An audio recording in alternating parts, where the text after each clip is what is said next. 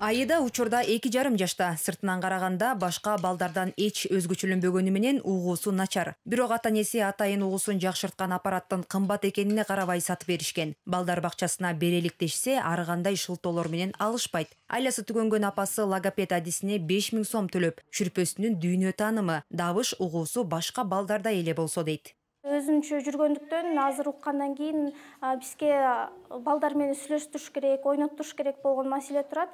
Бала бакча издеп дагы ойлонуп жүрөбүз кайсыга киргизебиз деп.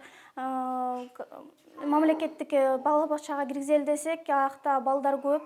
Жана речевой процессор аябай кымбат болгондуктан аяктагы эми аяктан эч ким ответственность алгысы келбейт мындайгачы анткени менен билим берүү министрлиги имплантат тагынган балдар бала бакчага жана мектепке барганга толук мүмкүнчүлүктөрү бар дейт. Бирок аппаратка көнүш үчүн атайын тиешелүү сабактарды эки же үч жылда алып толук мүмкүнчүлүккө ээ балдардын катарына кошулса болот дейт.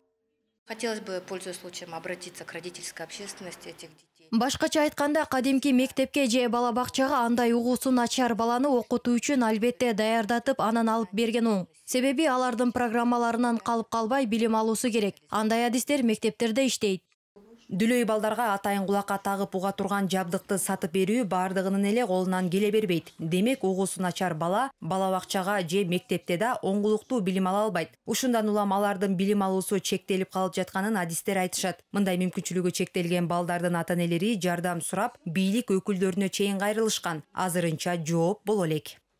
Биздин ситуацияда бизде азыр биздин көйгөй боюнча биздин балдарга эч кандай окуу дагы каралган эмес э, биздин балдарга э, гос программа жок биздин балдарга эч кандай э, беш жылда бир жолу алмаштырам деген даже бизге аябай өкүнүчтүүсү ушул биздин мамлекет биздин балдардын проблемасына кайдыгер карагандыгы да.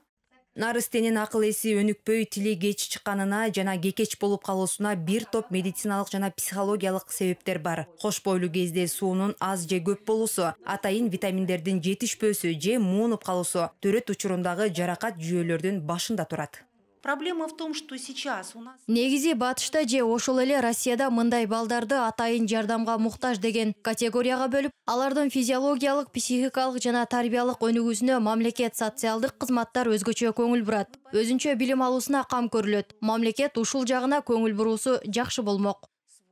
Анткени менен британияда аутизм жаны тынбаган гиперактивдүү балдар кулагы укпаган тубаса майыптар. Башталгыч жана орто мектепте дени сак балдардан бөлүнбөй чогуу билим алууга. Буга кошумча мектепте же бакчада аны караганга атайын адис бөлүнүп ар бирине мамлекет чоң суммадагы каражат жумшайт. Жипара насырова тилек асхатбеков бешинчи канал